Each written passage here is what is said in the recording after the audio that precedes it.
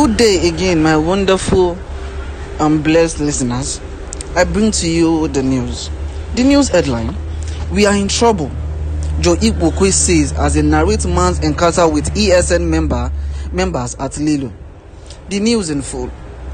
Top Nigerian politician and engineer Joe Igbokwe has made it clear that Igbo land is in danger as he narrates the story of a man who encountered the ESN and IPOB members and how they kidnapped his cousin. Igbokwe revealed that the IPOB members kidnapped the brother of a man and urged him to pay the sum of 200,000 naira. Joe Igbokwe revealed this on his Facebook page on Thursday, 3rd of February 2022. Igbokwe added that the news was reported on Vanguard. He said in his post, We are in trouble.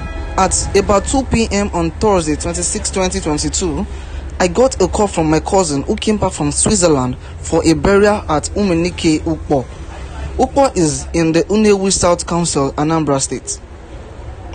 He told me that he was under the captivity of IPOB guys at Lelu. The IPOP guys told me to come with 200,000 naira and bail my brother and his SUV if I still want him alive. They warned me not to involve the police or else they will kill my brother. According to Igbokwe, he stated that the man received a call from his cousin who came back from Switzerland for a burial at Umunike Umpo on 26th of January 2022.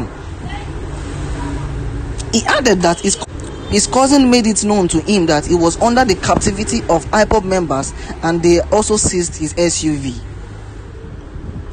The IPOB members told him that if he wants to see his brother alive, including his car, he should come with a sum of 200,000 naira to bail him.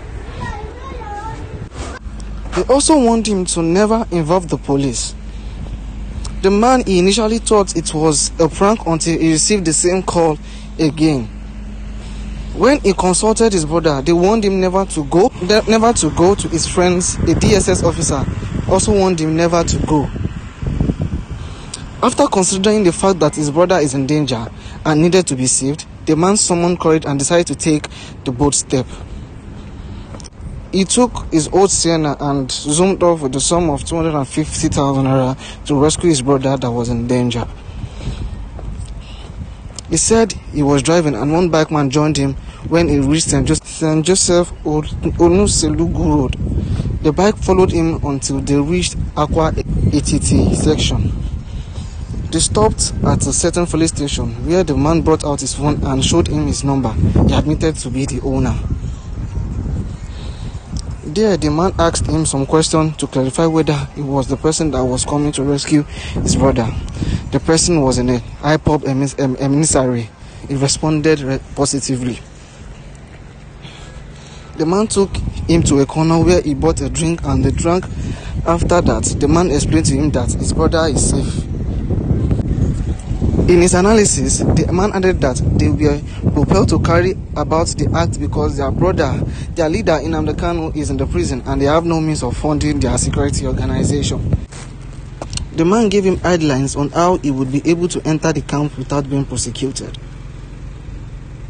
He told him to remove from his body anything that would vindicate him as a Nigerian, then use a green leaf to wave whenever he sees any of their members. The man added that the green leaf signifies peace. And after their discussion, the man took him with a bike, with his own bike, and they zoomed off.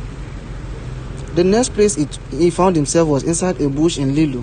When they reached the area his brother was staying, the GOC, General Officer Commanding, came out and greeted him.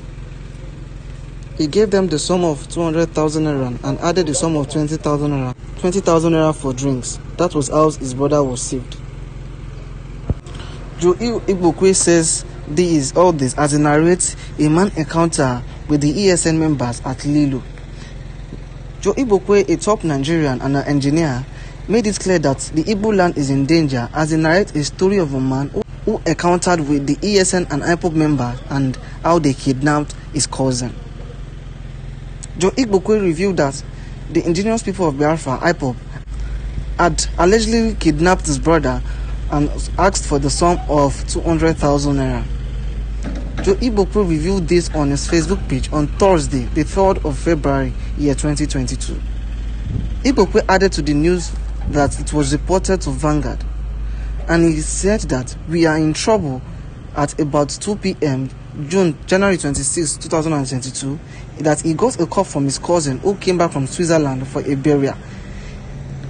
He told he told him that he was under the captivity of the indigenous people of Biafra, IPOB, at Lilo. He told them that the IPOB has asked for the sum of 200,000 naira to bail his brother and his SUV if they want him alive. They also want him not to in any way involve the police in it.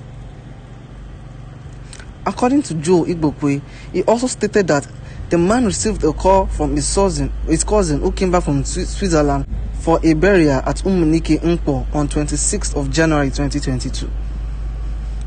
He also added that his cousin was made known that he was under the captivity of the indigenous people of Biafra, IPOB, and they also seized his vehicle. He also made it known that the IPOB the IPOB members told him that if he wants to see his brother alive, including his car, he should come with the total sum of 200,000 naira to bail him and his vehicle.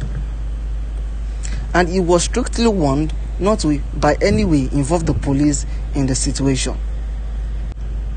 The man who initially thought it was a joke was convinced until he received the same call again.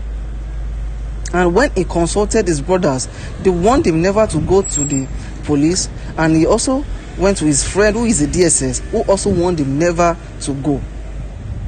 But after considering the fact that his brother was in danger and needed to save him as, as early as possible, he summoned the courage and decided to take a bold step. He took his old Sienna bus and zoomed off with the sum of 250 naira to rescue his brother that was in danger. As he was driving, one bikeman joined him when he reached St. Joseph along Onuzelogu Road. The bikeman followed him as they reached Oka ATT section. He stopped at the, they stopped at the filling station where the man brought out his phone and showed him his number and asked him if it was his own number and he admitted that to be the owner of the phone number. The man also asked him some questions to clarify that he was the person that wanted to save his younger brother. He also made it known that the IPOB told him that he, they are using the form of kidnapping to, to raise funds as the leader Nnamdi Kanu is in the custody of the DSS. So they are using the means of kidnapping to raise funds to run the organization.